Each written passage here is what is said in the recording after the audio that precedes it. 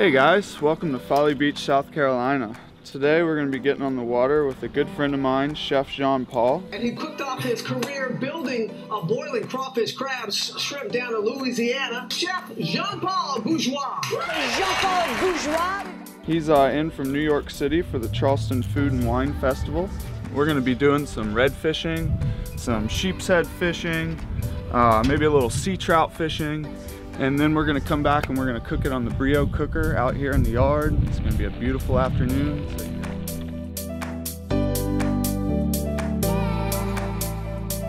Getting ready to get on the water. Got my good buddy Chef Jean Paul finally here, ready to rock and roll, do some fishing. So That's right, man. Every time I'm in Charleston, I gotta come fishing with Ben Powers. We gotta have some fun catching fish. I hope. Yep, exactly. No, That's this- always the hope. Yeah, this We got good conditions. yeah, though. this guy will put us on. Then we're gonna do a little grilling in the backyard and see. I don't know.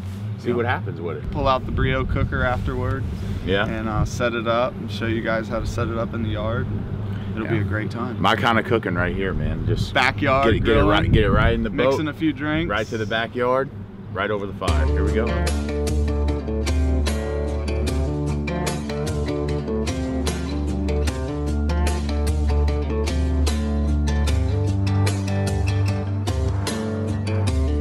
But the redfish, how they hammer down on a hammer down on a bait is unlike, yeah, you know, ambush and hammer down, man. Hopefully we experience So- that today. We got a 53.8, 53.9 water temp this morning. It was 58 yesterday, so that might affect the trout bite a little bit. They may have gone a little deeper. So we'll focus a little deeper when the tide turns and starts coming in. So we'll be rolling slow, moving the bait slow, keeping them down deep. Uh, and the, but as far as the redfish, the water temp's still in their in their hammer zone. So, Hammer zone. Yeah. That's gonna be my hashtag today. Well, we're going to Hammer Zone. All right, y'all ready?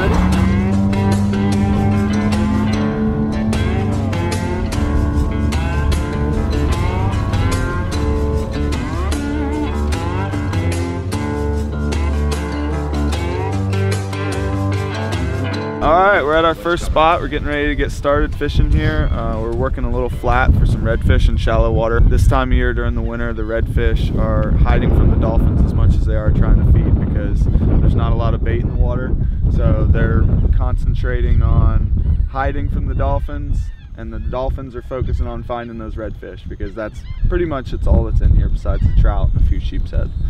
So we're gonna get tight up in here to the grass with our baits and then uh, see what we can make happen. We're gonna use live mud minnows uh, and artificials, maybe some cut crab for the redfish. So I mean, it's got a significant wind out here. It's coming in Yeah. my face right now. Yep, what's, the, what's, the, what's the key to fishing in like these kind of windy conditions out here in the low country? Fishing in these windy conditions is all about hiding from it, getting out of it, you know, and it's not as much because of the bite or the fishing. It's because of it. You want to make it easier for you to be able to cast Right. and to be able to feel that bite if you're fishing an artificial because that wind will really take the sensitivity out of your line.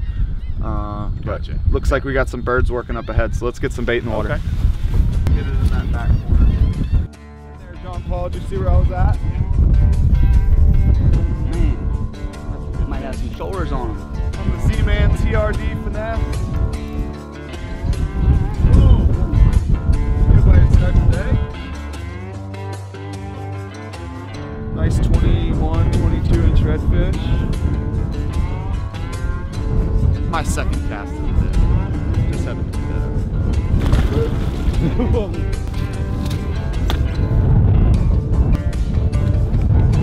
We're gonna put a piece of blue crab on the cork. Bring that cork in. Let's grab it.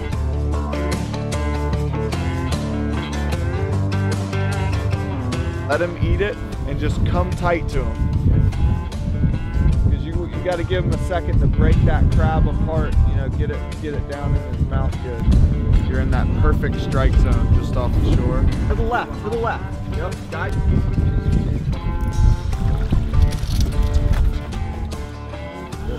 Ah, So the looking good. Good. Pull back to the left. Back to the left. That's a big boy. Big boy on the line. Nice fish. Woo! Absolutely. Nice thread, buddy. Right here. See. Boom.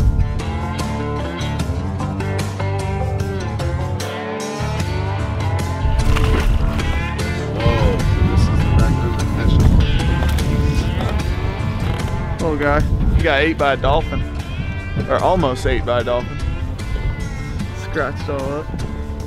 He might be a little short, but if there's one, there should be more.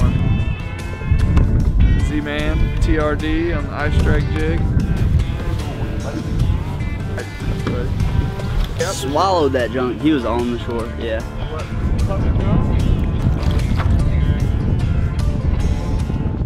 Yeah, I don't know, man. I've been I've been cooking since I was I don't know eight or nine years old. with My parents and came came time to decide what I wanted to do for college, and I went to culinary school, and I never never looked back.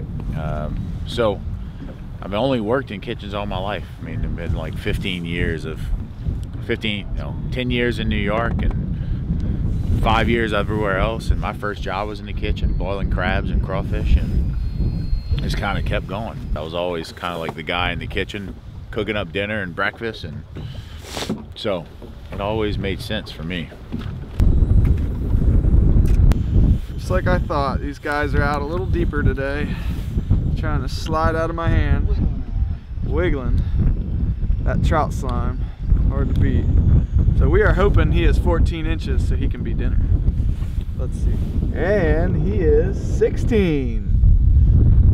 Nice. Winner, winner, trout for dinner.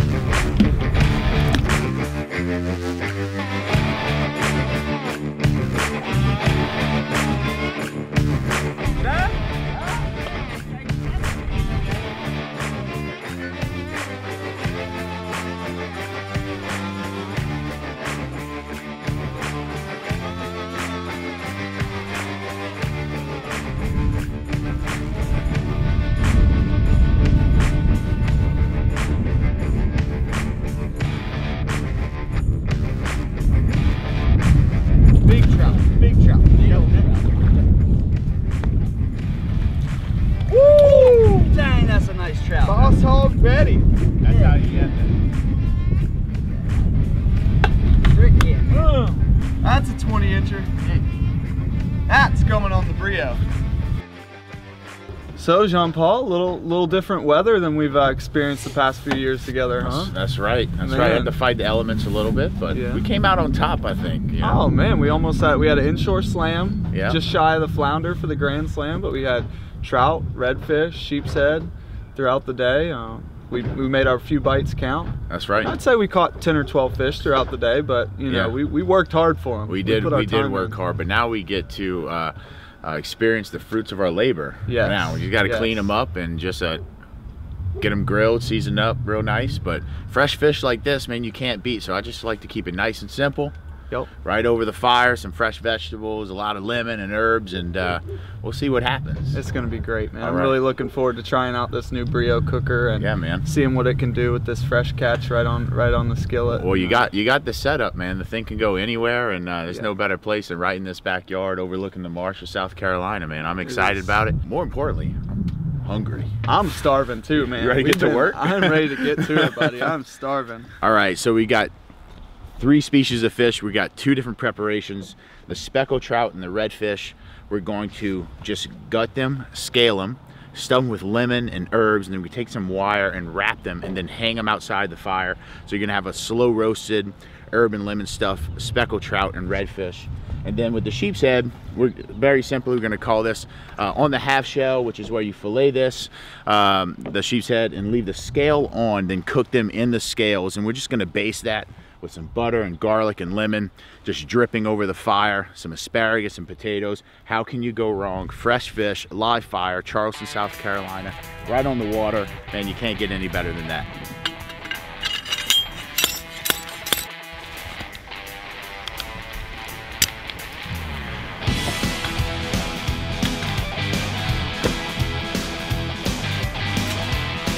Bring it down.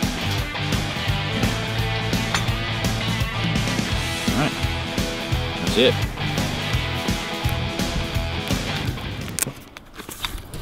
All right, really simple, guys. Got thyme, rosemary, lemons, some green onions. And really, what we want to do here is just season the inside cavity.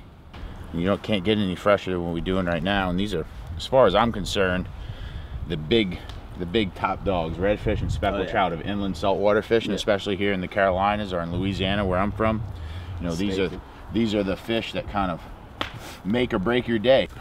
Just want to stuff those cavities with herbs, stuff right in there.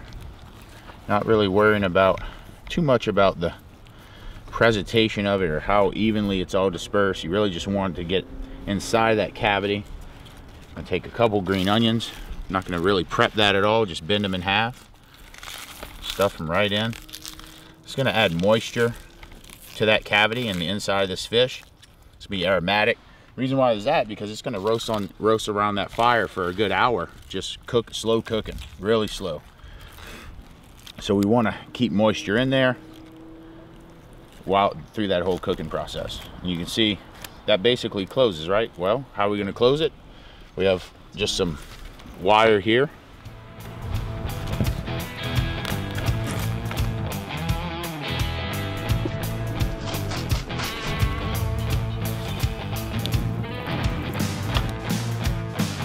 And then the sheep's head on the half shell, they're ready. Yeah, I think that's one of those things we just take the skillet Yep. and melt some butter mm-hmm. and do the garlic and stuff and that. Oh, and the herbs and the herbs. well. Why even chop the garlic when you just can crush it with your hands? Yeah. Oh, man. I like it. Parsley. Fire. All right, and we're just gonna take the outside edge of the fire, the thicker part of your fillet towards the fire. I'm just gonna kind of make a circumference around.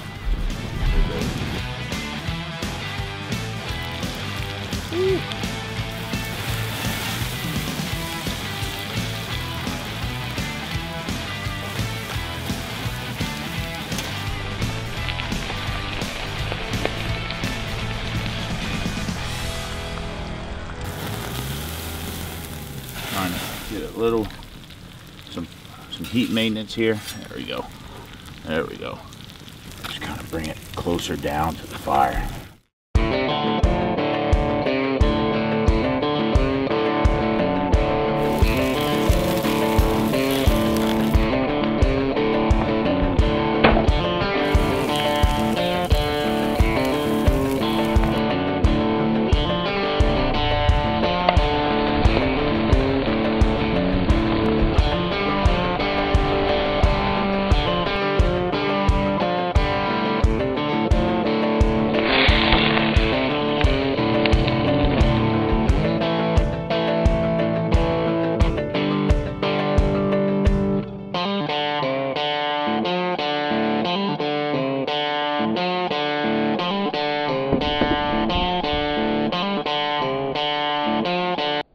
Right, guys. Well, Man, fellas, what an awesome day on Good the water. time. Good times. Great We had time. such a great time with you as usual, man. Yeah. You know, it's our third year on the water together in a row, and it's always a great time. Always look forward to having you. Looking forward to having you many more times. Yeah. Uh, we started out in the morning with a quite a chilly morning. Uh, a Mm-hmm. lot of foul weather gear on. We peeled a few layers as the day went on, but not many. Uh, you know, that wind Mm-hmm. Yeah. kept it cold. Well, I mean, one of my favorite parts of fishing is catching fish, being on the water with y'all. But then just second, close second, is being around that fire, cooking fish. We had the we had the ember roasted uh, speckled trout and the redfish. We had the uh, sheep's head on the hash shell, some grilled oysters, all with that grilled garlic butter sauce. If anybody got any questions, hit me up, Chef Jean underscore Paul on my Instagram account.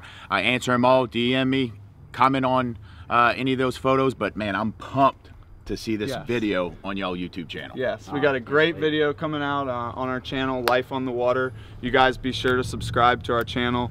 We got a lot of great content coming out, a lot of great videos, uh, working with great people like Chef Jean Paul here, and look forward to putting out some great videos for you guys. So it was a great day on the water, and uh, let's go out and have a good time this evening. Out from Charleston, South Carolina. Absolutely. That's right. can't wait to do it again.